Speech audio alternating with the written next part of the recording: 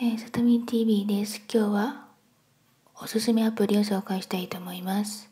前にサクサクというアプリを紹介しましたが、それでは解決ができなくなったので、すごいアプリを発見しました。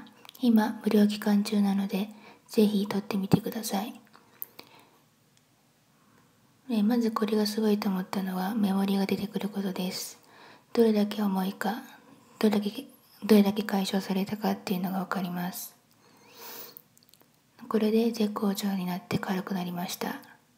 あとは診断とかコワード集などがあります。